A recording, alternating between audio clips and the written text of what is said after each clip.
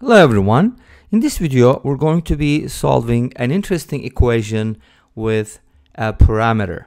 We have e to the power x divided by square root of x equals a.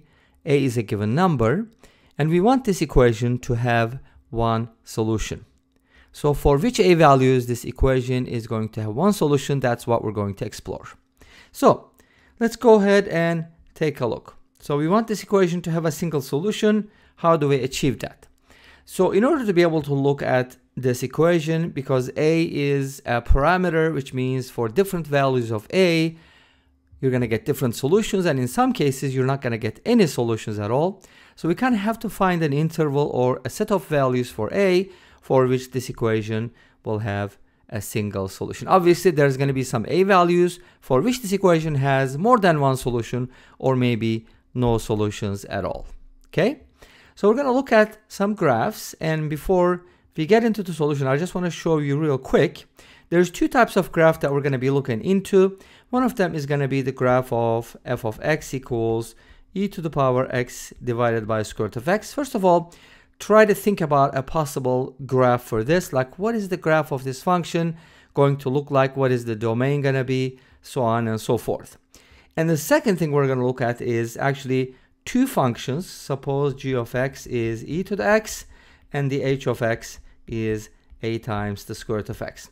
So by setting these equal to each other, I'm getting both of these equations. The difference is in the second case, x can be 0. Obviously, that's not probably going to be a solution, right? Because e to the power 0 cannot be 0. But with the first case, 0 is not in the domain. So that's the only difference. Okay, let's let's start with the first function, f of x. But again, before we do something about it, let me show you what the graph is going to look like.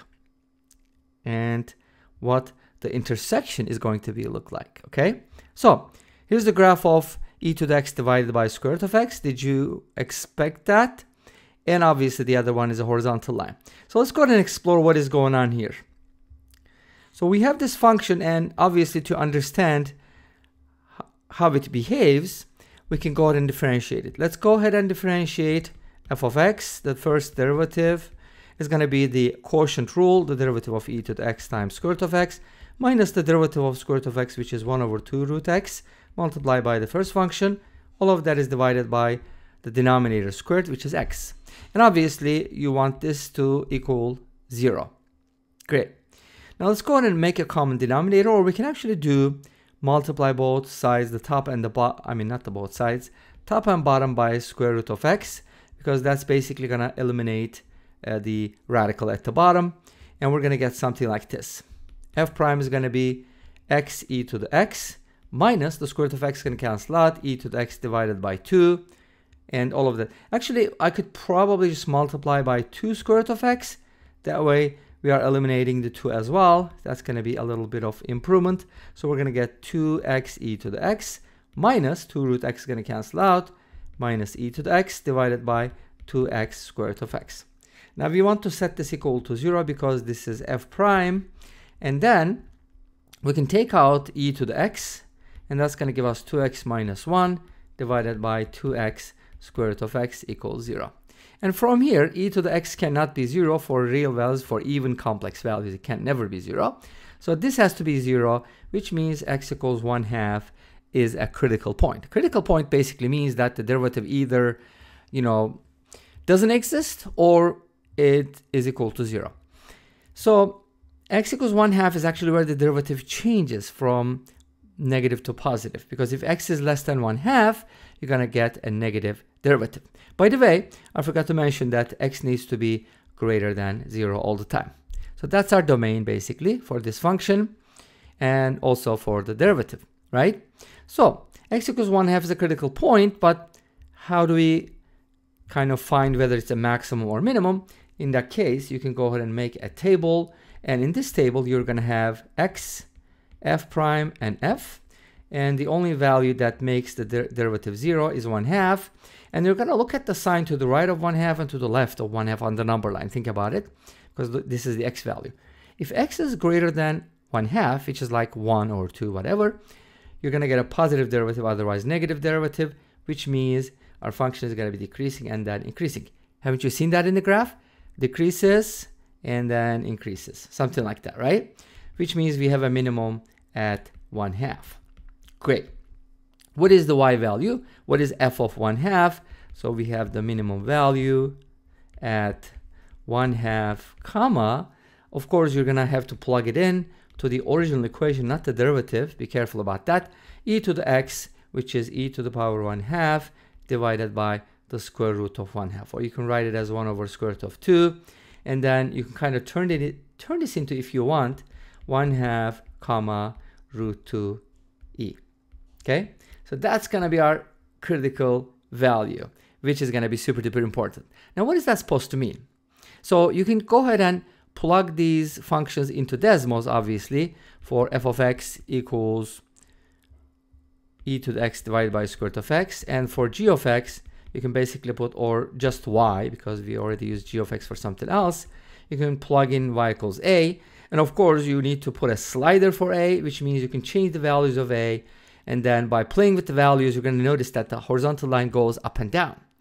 And at one point, as you've seen in the graph, it is tangent to our curve.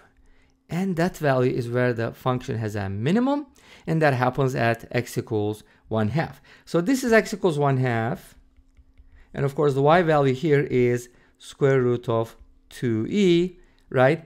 That's where we have a minimum value. What is that supposed to mean though? Here's what it means. When the y values are greater than that, right?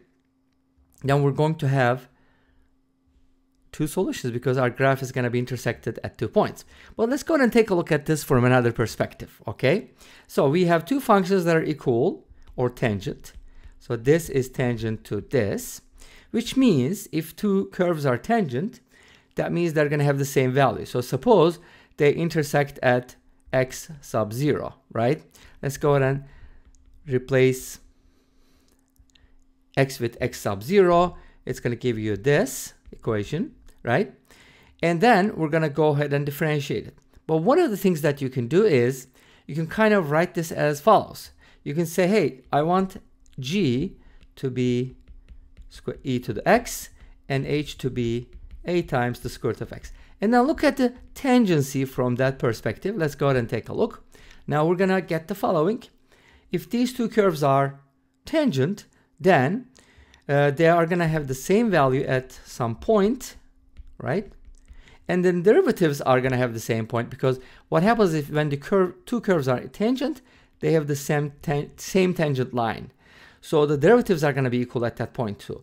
So g prime actually is e to the x and h prime is going to be a over 2 square root of x as you know from the derivative of square root of x. If you replace x with x sub 0 again, you're going to get another equation which you can basically use because we have the same thing on the left hand side. Therefore, we can go ahead and set these equal to each other and the a's are going to cancel out, right? So here's what happens. a cancels out because we know a does not equal 0. What happens if a is equal to 0? You're going to get the x-axis. But we know it's not a solution. From here, we get 2x sub 0 equals 1 and x sub 0 equals 1 half. That is where they are tangent. So for different values of a, we're going to be getting uh, two solutions. But since we do want a single solution, basically for a equals, and by the way, this is supposed to be the y value, right?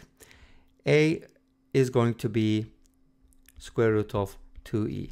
So for this one, we're going to have a single solution, okay, or one solution. Let me go ahead and show you the second graph and that'll hopefully make more sense. Now, we talked about this already. This is e to the x over square root of x with uh, y equals a. And then this is the graph of, you know, y equals e to the x and y equals a times the square root of x. And again, they intersect at x equals 1 half. And this brings us to the end of this video. Thanks for watching. I hope you enjoyed. Please let me know. Don't forget to comment, like, and subscribe. I'll see you next time with another video. Until then, be safe, take care, and bye-bye.